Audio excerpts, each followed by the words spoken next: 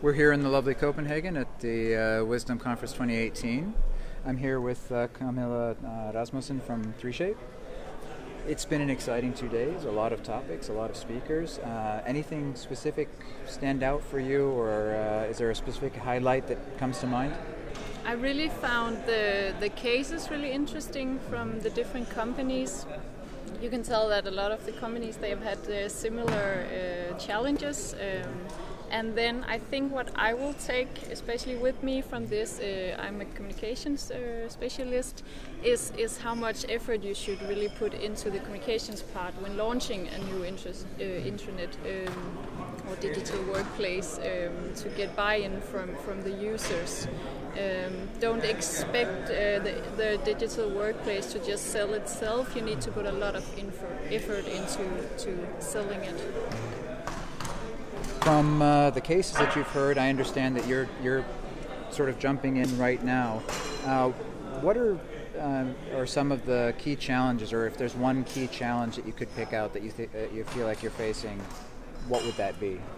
The timeline, I would say. Mm-hmm. I think it's well, we really need something. It's quite urgent that we get uh, something because we are a lot of new employees. We have uh, offices all around the world, and we don't have this one central place where we can all come together. Mm-hmm. So it's a mix between getting something and getting it like in the near future, but also to get something that is really good and that our employees want to use.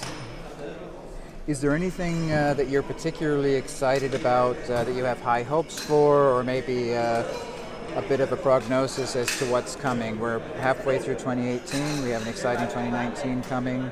Is there anything that you'd like to see or that you're expecting within the next year? Mm, I don't know if I'm really expecting anything. I thought it was really interesting with the artificial intelligence, where you have these bots helping you as an intranet uh, editor, help you create better content. Uh, I think that was really uh, exciting. I don't know if it's coming, uh, when it's coming, but uh, that looks really, really interesting. Very exciting times.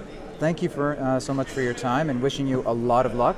Thank you so much. All right. Thank you. Thank you.